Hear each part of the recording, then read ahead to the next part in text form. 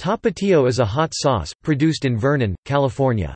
It is popular across the United States. Tapatio is the name given to people from Guadalajara, Jalisco. The company's founders come from Guadalajara. It is exported to Mexico, Canada, Central America, Australia, and elsewhere. The ingredients, as listed on the product label, are water, red peppers, salt, spices, garlic, acetic acid, xanthan gum and sodium benzoate as a preservative. Tapatio comes in five sizes, 5, 10, and 32 fluid ounces, and 1 gallon 3.785 liters, as well as in 7-gram packets.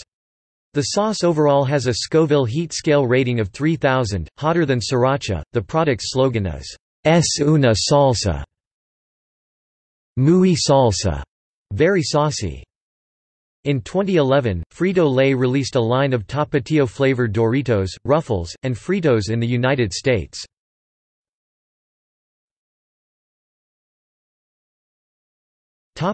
Company background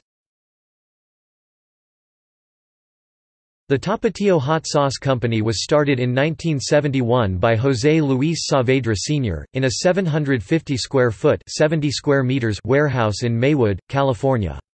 In 1985, the company moved to a 8,500 square foot (790 square meters) facility in Vernon, California, 5 miles (8.0 kilometers) from downtown Los Angeles. Although larger than the first location, the new factory had a single loading dock and limited storage space, which created a new series of problems for the company.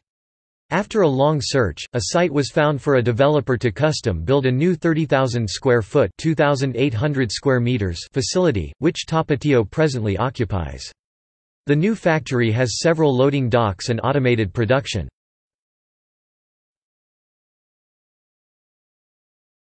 Topic: See also. Food production